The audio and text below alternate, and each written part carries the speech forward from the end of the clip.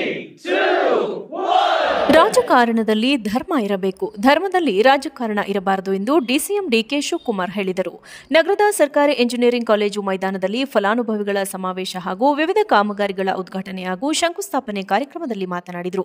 ಅರ್ಚಕರು ಯಾರು? ಅವರು ಒಂದು ಪಾರ್ಟಿಯವರ, ಬಿಜೆಪಿಯವರಿಗೆ ಸೇರಿದವರೇ? ಅವರಿಗೆ ಅನುಕೂಲ ಮಾಡಲು ಸಣ್ಣ ಸಣ್ಣ ದೇವಾಲಯಗಳನ್ನು ಅಭಿವೃದ್ಧಿ ಮಾಡಲು ಮಸೂದೆ ತಂದೆವು. ಅದನ್ನು ವಿರೋಧಿಸುತ್ತಿದ್ದಾರೆ ಎಂದು ಉಪಮುಖ್ಯಮಂತ್ರಿ ಡಿಕೆ ಶಿವಕುಮಾರ್ ವಿರೋಧ ಪಕ್ಷಗಳ ವಿರುದ್ಧ ಹರಿಹಾಯ್ದರು.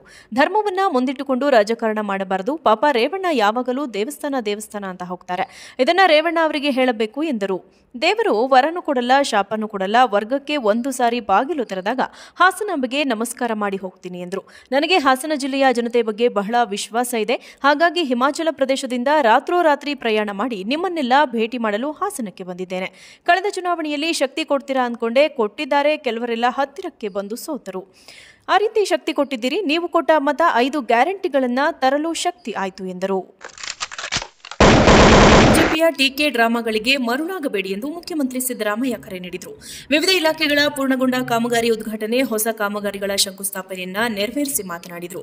ರಾಜ್ಯದಲ್ಲಿ ಜನರ ತಲಾ ಆದಾಯ ಹೆಚ್ಚಳವಾಗಿದೆ. ಈ ಜಿಡಿಪಿ ಬೆಳವಣಿಗೆಯಲ್ಲಿ ರಾಜ್ಯದಲ್ಲಿ ಕೈಗೊಂಡಿರುವ ಅಭಿವೃದ್ಧಿ ಕಾರ್ಯಗಳು ಕಾರಣ, ಇಡೀ ದೇಶದಲ್ಲಿ ಹದಿನೆಂಟು ಪರ್ಸೆಂಟ್ ಜಿಡಿಪಿ ಬೆಳವಣಿಗೆಯಾಗಿ ದೇಶದ ಅಭಿವೃದ್ಧಿಗೆ ಅತಿ ಹೆಚ್ಚು ಕೊಡುಗೆ ನೀಡಿದ ಪ್ರಥಮ ರಾಜ್ಯ ನಮ್ಮದಾಗಿದೆ. ಈ ಬೆಳವಣಿಗೆ ನಮ್ಮ ಗ್ಯಾರಂಟಿ ಯೋಜನೆಗಳ ಫಲ ಎಂದು ಅಂಕಿ ಅಂಶಗಳ ಸಮೇತ ವಿವರಿಸಿದರು. ಹಾಸನ ಜಿಲ್ಲೆಯ ಮಹಿಳೆಯರಿಗೆ ಉಚಿತ ಬಸ್ ಪ್ರಯಾಣ ಮಾಡಿದ್ದಕ್ಕಾಗಿ ನೂರ ಅರವತ್ತಾರು ಕೋಟಿ ಕೊಟ್ಟಿದ್ದೇವೆ. ಈ ಮಟ್ಟದ ಹಣ ಹಾಸನ ಮಹಿಳೆಯರಿಗೆ ಉಳಿತಾಯವಾಗಿದೆ. ಗೃಹಲಕ್ಷ್ಮಿ ಯೋಜನೆಯಡಿ ಹಾಸನ ಜಿಲ್ಲೆಯ ಮಹಿಳೆಯರಿಗೆ ನಾನೂರ ಎಪ್ಪತ್ತೇಳು ಕೋಟಿ ರೂಪಾಯಿ ನೀಡಿದ್ದೇವೆ. ಈ ಹಣವು ಮಹಿಳೆಯರ ಖಾತೆಗೆ ನೇರವಾಗಿ ಹೋಗಿದೆ. ಉಚಿತ ವಿದ್ಯುತ್ನಿಂದ ಹಾಸನ ಜಿಲ್ಲೆಯೊಂದರಲ್ಲೇ ಎಂಬತ್ತೊಂಬತ್ತು ಕೋಟಿ ರೂಪಾಯಿ ಹಣ ಜನರಿಗೆ ಉಳಿತಾಯವಾಗಿದೆ.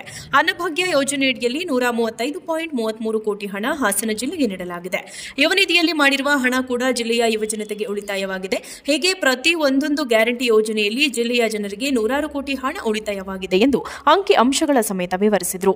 ಹೀಗೆ ಜಿಲ್ಲೆಯ ಜನರ ಖಾತೆಗೆ ಬಂದ ನೇರ ಹಣದಿಂದಾಗಿ ಜನರು ಕೊಳ್ಳುವ ಶಕ್ತಿ, ಉಳಿತಾಯದ ಶಕ್ತಿ ಹೆಚ್ಚಾಗಿ, ಇದರ ಒಟ್ಟು ಪರಿಣಾಮ ರಾಜ್ಯದಲ್ಲಿ ಆರ್ಥಿಕ ಚಟುವಟಿಕೆ ತೀವ್ರಗೊಂಡು ಆರ್ಥಿಕ ಪ್ರಗತಿ ಕಂಡಿದೆ ಎಂದರು. ಮಹಿಳೆಯರು, ರೈತರು, ಕಾರ್ಮಿಕರು, ಹಿಂದುಳಿದವರು, ದುಡಿಯುವವರು, ಶ್ರಮಿಕರು ಎಲ್ಲರಿಗೂ ಅನುಕೂಲ ಆಗುವ ಜಾತಿ, ಧರ್ಮದ ಮಿತಿ ಇಲ್ಲದ ಕಾರ್ಯಕ್ರಮಗಳನ್ನು ನಾವು ರೂಪಿಸಿ ಜಾರಿ ಮಾಡಿದ್ದೇವೆ. ನಮ್ಮ ಗ್ಯಾರಂಟಿ ಯೋಜನೆಗಳಿಂದ ರಾಜ್ಯದ ಜನರು ನೆಮ್ಮದಿ ಕಂಡುಕೊಳ್ಳುತ್ತಿದ್ದಾರೆ. ಈ ಫಲಾನುಭವಿಗಳ ಗಮನ ಬೇರೆಡೆ ಸೆಳೆಯಲು ಬಿಜೆಪಿ ನಾನಾ ಡ್ರಾಮಾಗಳನ್ನು ಸೃಷ್ಟಿಸುತ್ತಿದೆ. ಭರ್ಜರಿ ನಾಟಕ ಆಡುತ್ತಿದೆ ಎಂದು ಟೀಕಿಸಿದರು. ಹಾಸನದ ಸರ್ವಾಂಗೀಣ ಅಭಿವೃದ್ಧಿಗೆ ಸರ್ಕಾರ ಬದ್ಧವಾಗಿದ್ದು, ಏರ್ಪೋರ್ಟ್ ನಿರ್ಮಾಣಕ್ಕೆ ರಾಜ್ಯದ ಪಾಲಿನ ಹಣವನ್ನು ನಿರಂತರವಾಗಿ ನೀಡುತ್ತಿದೆ.